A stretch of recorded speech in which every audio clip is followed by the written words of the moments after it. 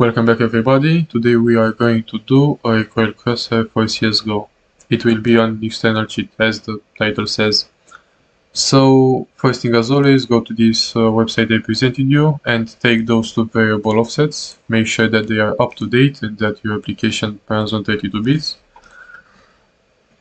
We got the same three lines, four lines. The first one is to get the process ID of the CSGO, the handle of the CSGO, the client DLL module of the CSGO, and the local player. After that, we can uh, take the aim punch angle of the local player, which represents us. And after that, we can uh, calculate the position of the next bullet on the 2D screen.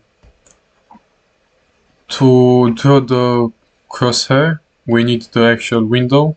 So we can uh, use this function here to take the handle of the window. My window is named like this because I use a different graphics API. Your CSGO window will be mostly called like uh, this.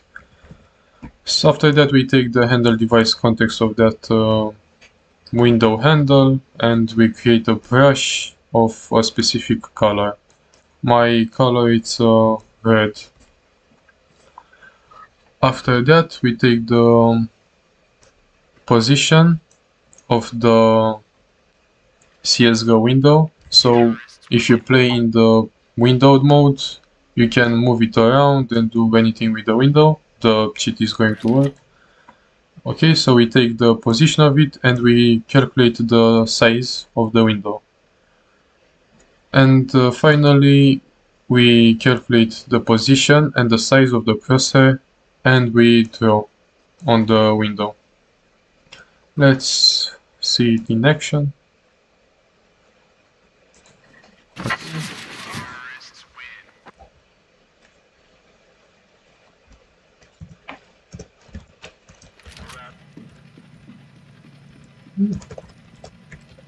Give us a weapon and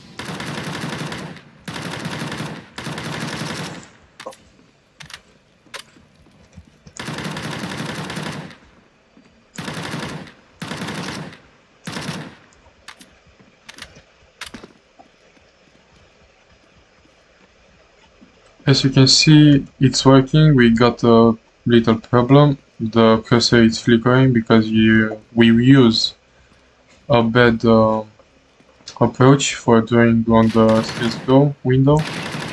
It's the easiest approach, but not the best one. Yeah, I think that was it. Thank you for watching and see you next time. Goodbye.